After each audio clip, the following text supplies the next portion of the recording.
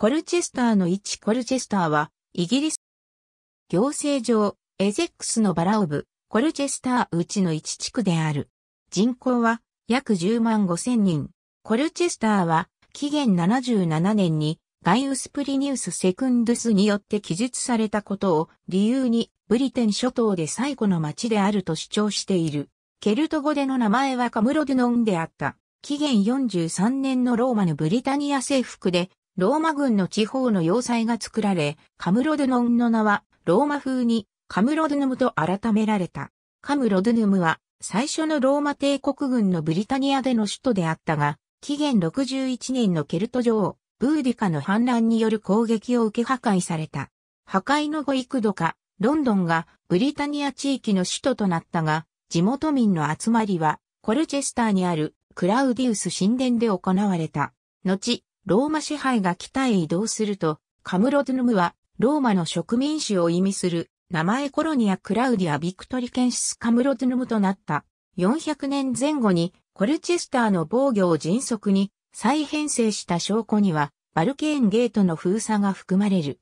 考古学的発掘物は、公の建物が打ち捨てられていることを証明し、8世紀の年代史か年ニュースは自身の作った30のブリテンの主要都市リストの中でコルチェスターをコターコリンと呼んで記載を残した。考古学者モーティマー・ホイーラーはロンドン、コルチェスター、セントオールバン図鑑の三角形に初期アングロサクソン人らが欠如していることを最初に提案し、アングロサクソン人の到来後もローマ支配の三角形の下でブリタニア支配が続いていたことを示すものであるとした。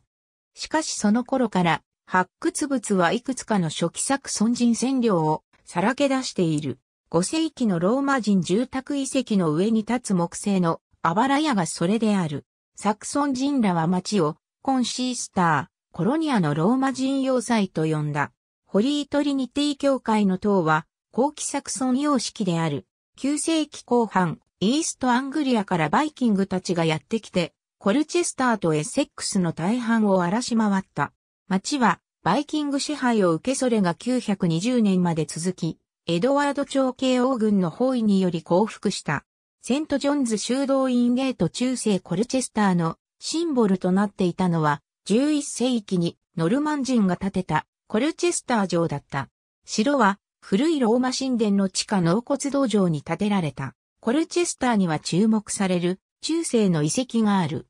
ベネディクト会派のセント・ジョンズ修道院の門番小屋と、聖アウグスチの修道会派の小修道院セント・ボトルフが現存する。1189年、コルチェスターはリチャード自死親王から最初の特権を授かった。特権はリチャード王がイングランドから去る旅の途中、ドーバーで与えられた。1989年に直所自治都市として800周年を祝った。1550年から1600年までフランドルからやってきた大勢の紡績業者と服飾職人たちがコルチェスターとその周辺に移住した。彼らは赤活色の彩色生産と製図生地の生産の栄誉を受けた。